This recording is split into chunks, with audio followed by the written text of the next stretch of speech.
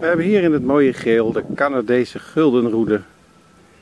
Een plant die oorspronkelijk natuurlijk uit Noord-Amerika vandaan komt, daarom heet hij zo.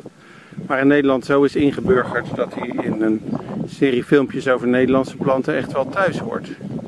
Het is een vrij hoge plant, met soort aren van kleine bloemetjes, bloemhoofdjes, met omwinseltjes erom die relatief lang zijn. En mooie gele pluimen. Je ziet ze vaak langs spoorwegen en hier op de wat droge plekken van zo'n slik. De Canadese guldenroede. Tot ziens maar weer.